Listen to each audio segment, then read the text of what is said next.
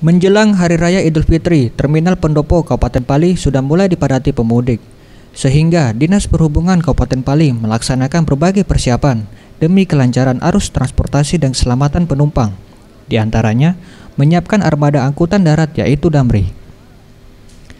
Armada ini akan beroperasi satu kali dalam 24 jam dengan tujuan mengangkut penumpang khusus dari Kabupaten Pali menuju ke Palembang ataupun dari setiap kecamatan di sekitar lingkungan Kabupaten Pali.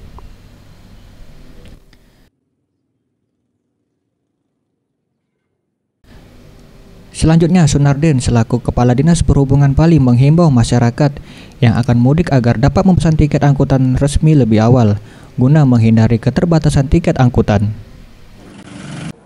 Oleh karena itu kami menghimbau kepada masyarakat kalau mau ke Palembang ya tolong dipesan duluan ya, supaya ada tiket.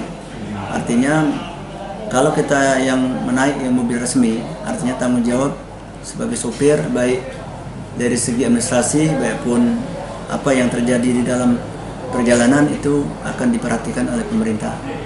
Tapi kalau dia memang naik kendaraan yang memang e, di luar dari itu, ya tanggung jawabnya itu adalah di eh, masing-masing. E,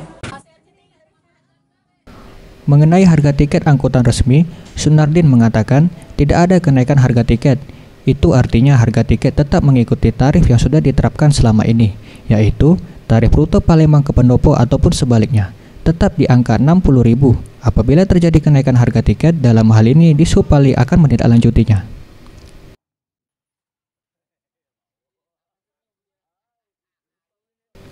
Boris Simbolon, Sriwijaya TV